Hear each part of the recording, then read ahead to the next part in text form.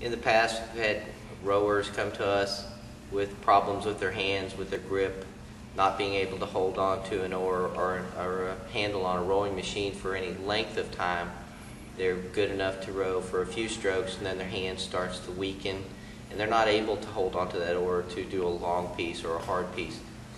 A man, Robert Black from Oklahoma City, had came to us last year with this problem. We had the usual gloves that we could use for grip problems. They worked well, but he's kind of invented a system that's worked great for him for this problem. And so I want to introduce him to kind of explain what he has done to make these oars very accessible to him. He's rowed for a whole year, kind of developing this along talking with us here at the rowing club. And it's a great system for grip problems. So I'm going to bring Robert in and let him explain and show you how it works. And hopefully that will, will work for many of your prob- your people with want to take a few minutes and uh, uh, show you, show you an adaptation I put together uh, to make it possible for me to row. Um, I've always had very, very weak, weak hands, and so any type of gripping is, is difficult for me. So I've shied away from sports that uh, involve any, any gripping. And as I've gotten older, I've met many, many more people uh, with arthritic conditions that have had strokes. And then through the adaptive program, I've met people with um, advanced cerebral palsy and quadriplegics that, that have gripping issues.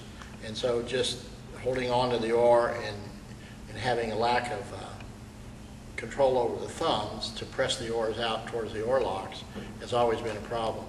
And when we raced uh, last year in some regattas, we found that um, the standard types of gripping devices that you'll see in access catalogs um, for disabled uh, really require you to clamp very, very, very hard around the oar and cut off circulation, and your hand still moves down the oar because you don't have any control over it. So it just slides down here. And so I've got uh, two devices that work together to make it possible to alleviate that. And one is, it's, it's just a piece of plastic. It's about three inches across. And the hole in the center is the diameter of the oar handle. So this hole will, will be different uh, for different diameter oar handles. I happen to have a medium, medium grip that I like on the oar handle. So I just looked at the manufacturer's diameter and drilled a hole there. And this has a, a groove in it.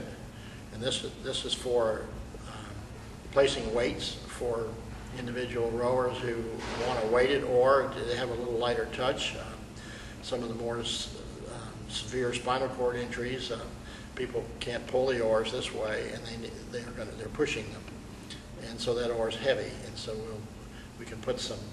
They, they don't have the hand control, so they need this uh, counteraction, um, this action to be counteracted and, but they, they may want some weights. We don't want to actually damage the oar. We might be using somebody else's oar or club oar. So this just slips on without any requirement for attachment. And it's just not going to fit where it'll stay there. This happens to be my personal oar, so these are just permanently mounted uh, on these oars uh, for me. But it's a very easy adjustment to, uh, to make. Um, I've made them out of plastic. Originally, I made them out of an archery target, where I just cut these out with a pocket knife and drill a hole in it. Uh, but that material's really rough on your hand um, when you row. So this is smoother and a little bit more, a little bit more durable. The second piece of this is a gripping device. Won't call it a glove, but got Velcro on it. It's got a flap that uh, fits fits over your hand, and then another piece that fits around your wrist.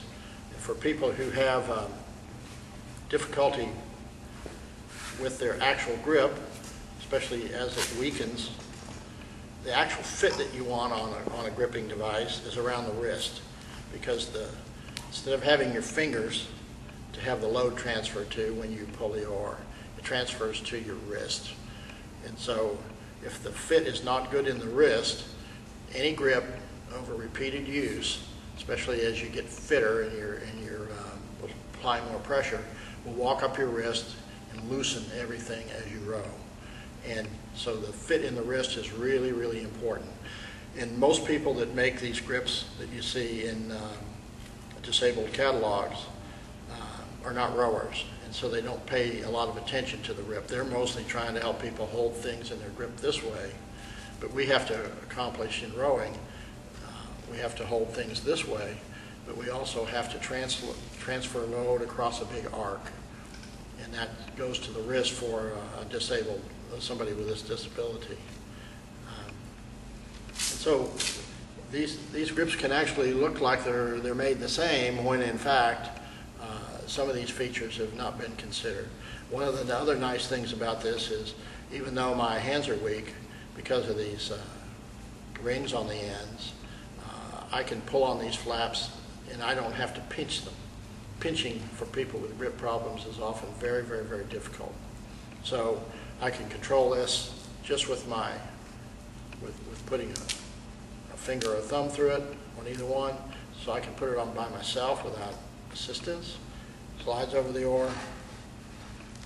Because I have the washer there, I don't have to tighten this down really tight anymore. So along the rows, I don't lose circulation, and I get the same kind of feel that somebody without a grip would have when I move the oar through the water.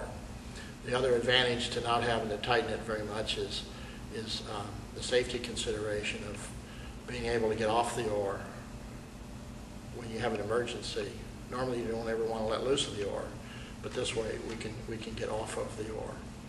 And I would only recommend this at the current time to uh, scullers.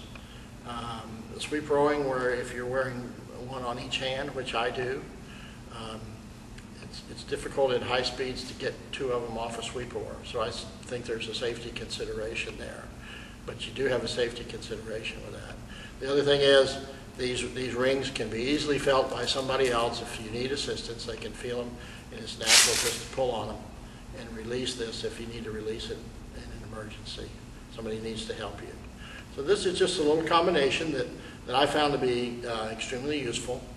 And, um, and um, as you get fitter and you row harder, this will, this will hold up. It works very well on the, on the erg. So I erg with it and I use it on the oars every single. Don't let grip problems and don't let hand problems stop you from trying to row anybody. It's a very simple solution to this.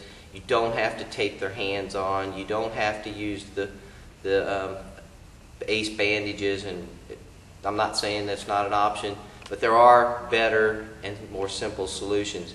If something happens with this glove, the hands can come off very quickly. They're put on right and getting them out of the boat is really simple with this, with this apparatus. They are made for both hands, right and left. They're made in different sizes, so they can be acquired for any rower